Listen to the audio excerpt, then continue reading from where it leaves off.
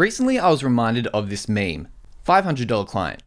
I just feel as though with this investment I'm about to make in you, that we should understand how our lives are about to change, and I need results, and you need to bring them.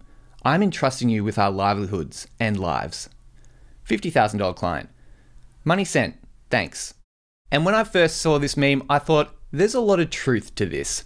Sometimes it feels that lower budget clients can have a lot higher expectations than what you would expect them to have. And higher paying clients seem to understand the video production process a little bit better because they probably have more experience in creating videos and how much they actually cost to be produced. When I first started doing video production, I thought that lower budget clients would have more realistic expectations and possibly even lower expectations compared to what higher budget clients have.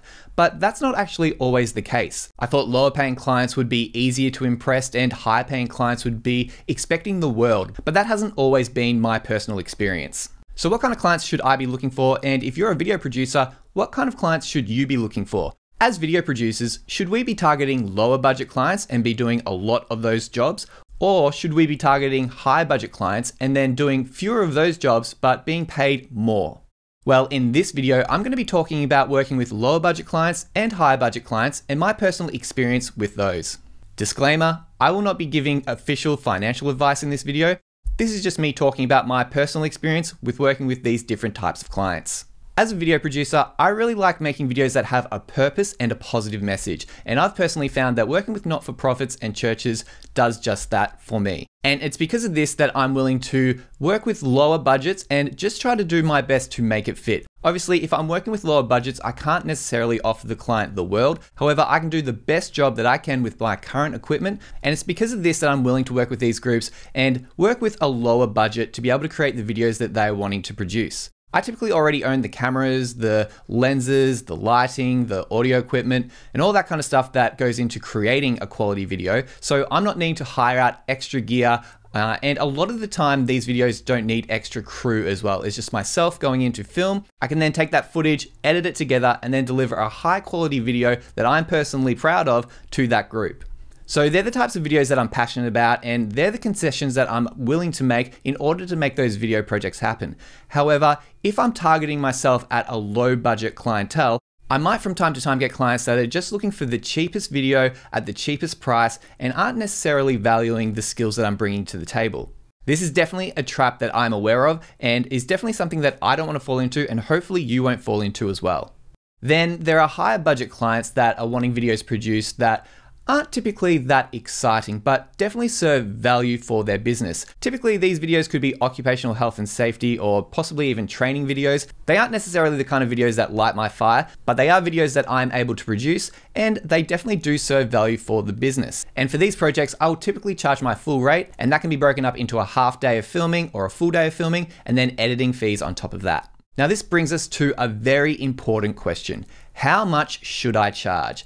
And the answer to this is charge what you are worth. And I know you're probably rolling your eyes right now because you've heard that before, but the answer is true. You need to decide how much you are worth, just like I need to decide how much I'm worth. As video producers, we are all equipped with different things. We're equipped with different gear, different experience, and different skill sets. And for me to answer this question, I look at how much is my time worth, how much is my gear worth, and how much is my skill worth.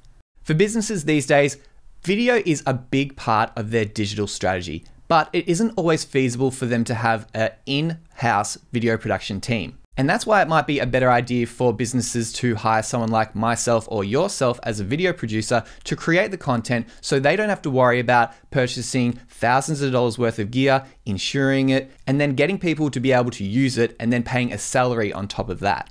Also, if you're a video producer and you're scared to charge what you're worth because you think it might scare off potential clients, well, it might be those low budget clients that are actually holding you back from reaching a higher level and getting higher budgets to be able to produce the videos that you are actually passionate about.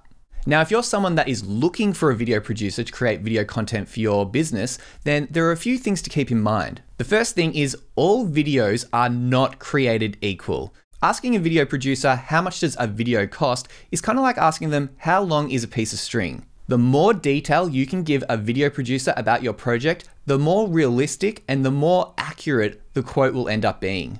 In the past, I've had clients that have asked me, how much does it cost to shoot a video? And I would quote them my half day and full day rate, and then they would hear that, they would approve it, they'd book me in, and then they would be absolutely shocked to find out that there's actually additional charges in editing the video and getting something usable for them. This situation could have been avoided if more questions were asked by the client and myself to be able to figure out what was expected from this whole project. Initially, I was asked how much does it cost to film the project, and I gave that answer, and then they just assumed that that was all inclusive for the video process, that that included editing and delivering the video as well, which unfortunately it doesn't. My advice to people that are looking for video producers to create content for them is to ask as many questions as possible, give as much detail as possible, and if you have any visual references as well of what you're expecting the video to look like, send those through as well, because then the video producer can look at that and then determine how they could recreate that video and achieve what you are expecting.